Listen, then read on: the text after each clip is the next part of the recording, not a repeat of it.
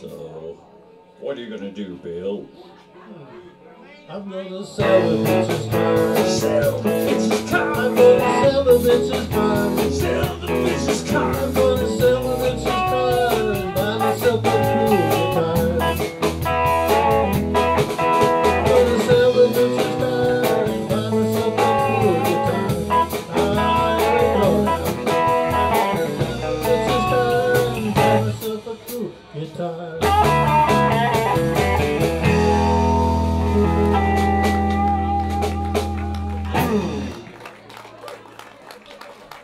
Sold.